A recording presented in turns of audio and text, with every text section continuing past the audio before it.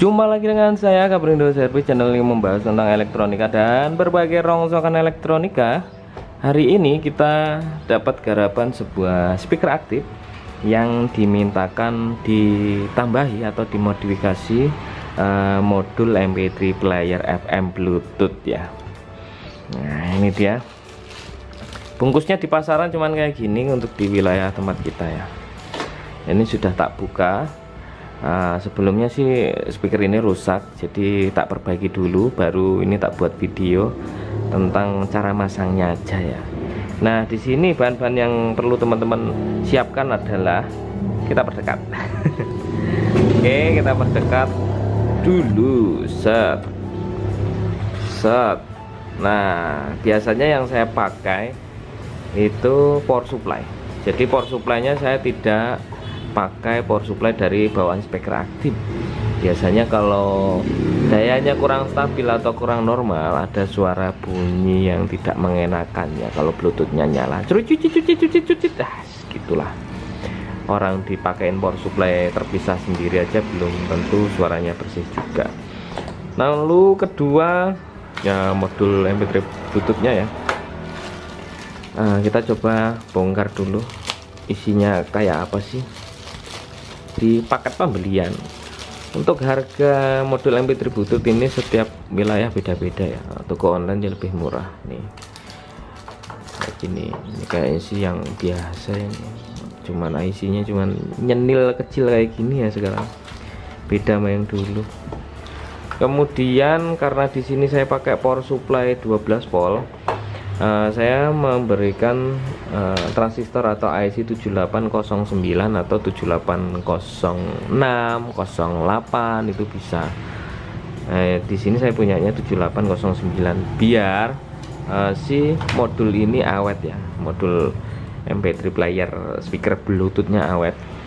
Sebenarnya nggak dikasih pun juga nggak masalah karena di sininya di modulnya itu sudah di uh, beri IC atau transistor uh, 7805 ya. Ini sudah disumbat di sini 7805 jadi diberi daya 12 volt pun ya nyala.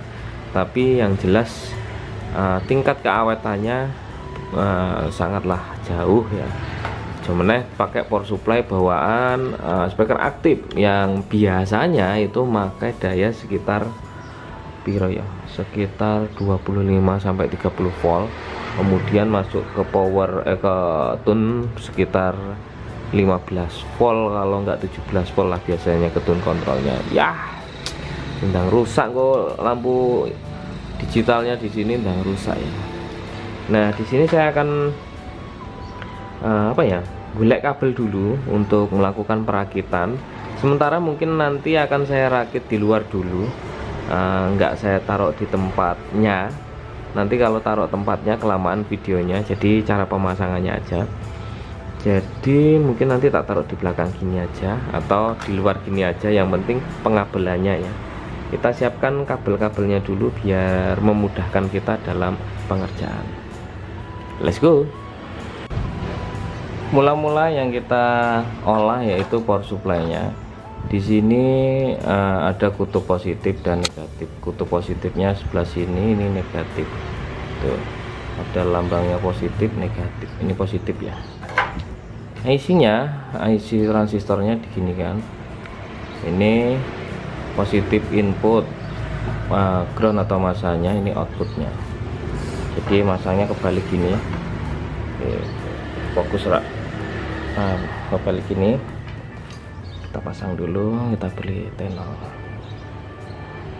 Jadi untuk metode-metodenya ya kayak gini ya. Kalau mau pakai power supply sendiri kayak gini.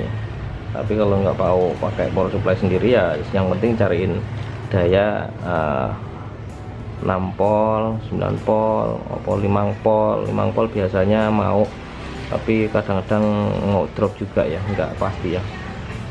Oke. okay oke sudah kayak gini.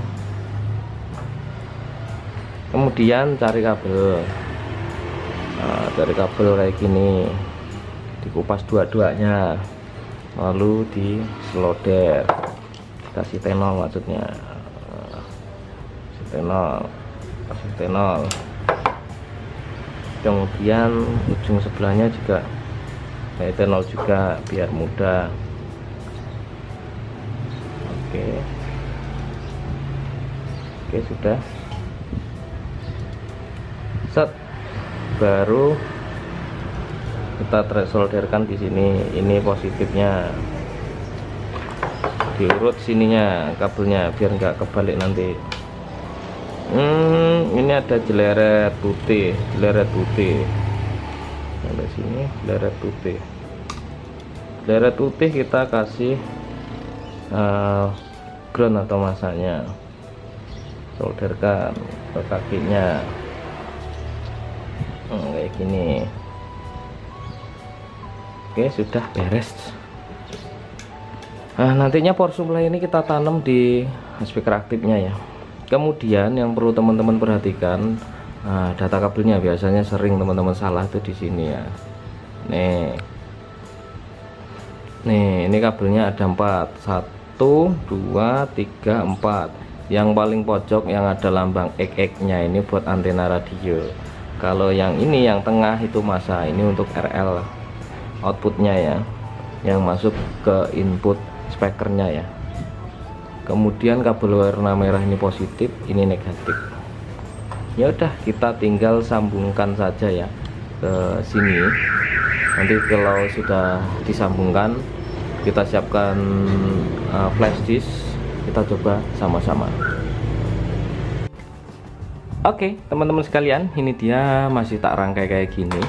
Jadi ini uh, merah ini positif ini negatif kemudian power supply nya ini. Ini yang tadi kita solderkan. Ini baru sementara saja. Kemudian input outputnya kita sambung seperti ini. Jadi dari jack yang di luar sini kita lepaskan kita masukkan ke jack ini ini sisa satu ya. Ini sisa satu. Ini kabel antena radionya. Ya cuman kayak gitu aja. Sangat simpel dan mudah sekali. Nanti ini tak beri kabel sendiri untuk AC nya kita satuin AC nya jadi satu dengan uh, apa namanya uh, trafo dari speaker aktifnya. Sementara untuk uji coba seperti ini dulu. Nah kayak gini. Dipositifkan dulu uh, bahwasanya uh, sudah uh, normal dan tidak ada kendala nanti kalau sudah normal tidak ada kendala baru uh, apa namanya dirakit disesuaikan di casingnya ya. Kita culuk. Oke sudah nyala ya. Eh malah ucul ya. Culuk juga. Oke ini remote nya berfungsi atau tidak saya nggak tahu. Ini bawaannya. Kita apa ya mode oh apa namanya fungsi ya remote nya fungsi. Uh, kemudian kita apa ya connect nih karo HP ini dewi. Oke. Ini ya kita koneksikan sama HP kita. Oke sudah terhubung. Uh, ini. Kita play sangat simpel sekali kan teman-teman? Kita keraskan dari sini.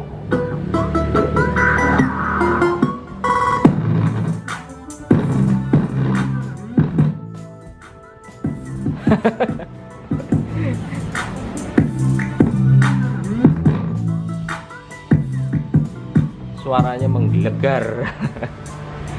Cukup simpel tinggal kita rapihkan saja seperti ini skema pemasangannya teman-teman bisa racik sendiri serapih mungkin. Ini hanya sekilas saja. Uh, apakah masih bingung? Kalau masih bingung bisa ketik di kolom komentar eh, tanya-tanya seputar pemasangan uh, modul MP3 FM USB Bluetooth nya semoga sedang paham ya tentang tanya-tanya aja boleh di kolom komentar mungkin gitu aja lah video kali ini ya. Yang penting ini udah, udah jadi tinggal di rakit aja disesuaikan disempurnakan. Jangan lupa untuk teman-teman di like di subscribe di share ke teman-teman kalian. Dan wassalam. Martunun